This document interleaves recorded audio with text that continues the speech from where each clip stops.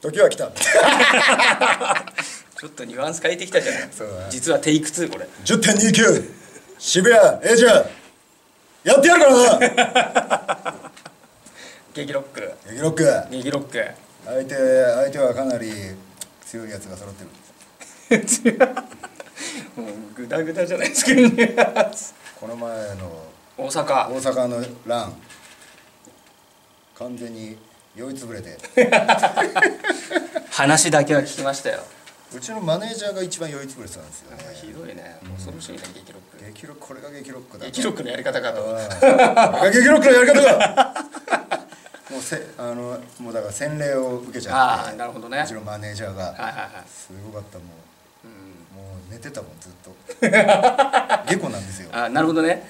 何しに行ったんだ よこれが激ロックのやり方だ。恐ろしい。ただ10.29渋谷エイジアでもうんうん。負けねえからな。やってやるからな。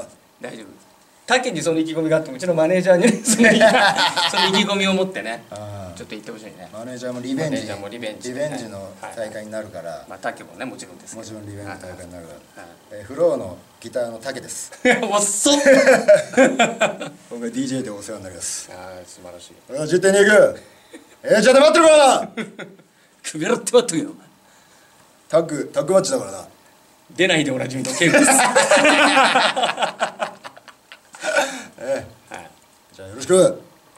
楽しんでください。時は来た